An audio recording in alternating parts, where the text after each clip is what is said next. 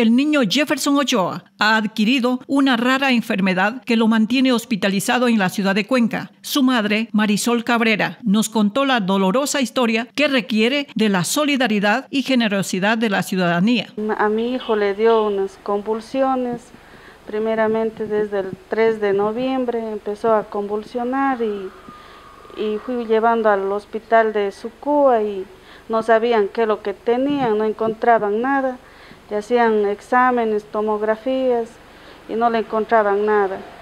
Pasó ahí y decían que es los... Parece que ya estaba así un poco medio bien, pero no, no, no ha estado nada. Y, los doctores decían que es de los productos de los medicamentos, que era la reacción, porque él temblaba así sus manitos, sus el cuerpo. Y después del día viernes le dio vuelta otras convulsiones y, y ya no, no pudo ya no pudo salir ya adelante y ya le tuvieron que entubar y, y le fueron llevando a macas vuelta porque él necesitaba de unas máquinas más fuertes, más grandes para que pueda respirar. Y, y así, allá fuimos a, a macas y ahí le tenían cuidados intensivos y el doctor de ahí de Macas, él dijo que no podía hacer nada, que mejor le, le fueran llevando a, a, otro lado, porque dijo, dijo él que él no era especialista para ese caso, porque no había especialistas ahí y tampoco le encontraban nada. Y después, vuelta el día sábado, decidimos con toda la familia sacarle a él para allá y, y fuimos llevando allá a la clínica Monte Sinaí.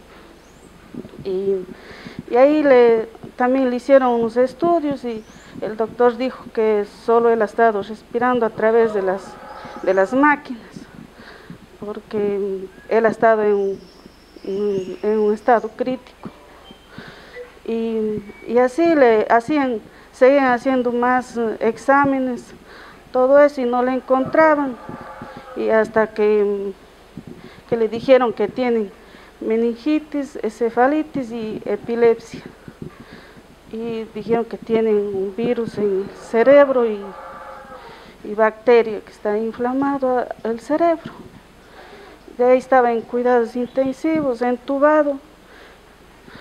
Y de ahí le dieron medicina, le dieron por, por 13 días así medicina que tenía que recibir por, por, por la vena porque ahí es un, poquito más costoso ahí de la clínica, nosotros somos de bajos recursos económicos. Y eso, y, ahorita está él en, terapia, recibiendo terapia y, y así. Prácticamente está sin dinero y se han propuesto hacer un bingo y recolectar para cubrir los gastos. Sí, gastamos bastante y, y estamos haciendo unos un bingos, así con la familia, organizado y estamos haciendo así, un, así bingos, boletos también abajo en su Cuba, estamos organizando para poder ayudarnos en algo. Sabe que esa clínica es muy costosa y no tenemos para, para cubrir los gastos. Si quiere algo, unas personas de buen corazón que nos ayuden con un granito. Doña Gladys Palacios, tía del niño Jefferson Ochoa, agregó detalles del bingo solidario que será este sábado por la noche en el espacio cubierto de la laguna. Mi nombre es Gladys Palacios. Eh, estamos invitando a toda la gente de buen corazón de la ciudad de Macas.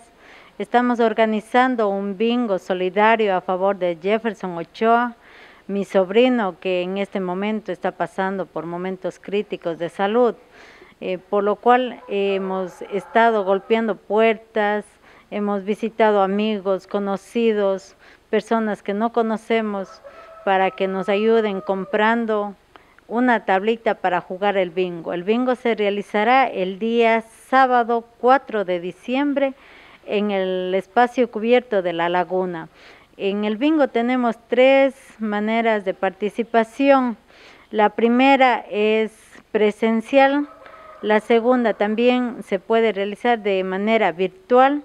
Y la tercera, las personas que no puedan asistir ni se puedan conectar por el Zoom, tenemos, las tablitas son numeradas, entonces eh, nosotros llevamos un registro de los nombres, números de celular, en un caso de que sean acreedores de algún premio, se les estará llamando de manera inmediata, ya que todo va a ser transmitido en vivo desde el espacio cubierto de la laguna.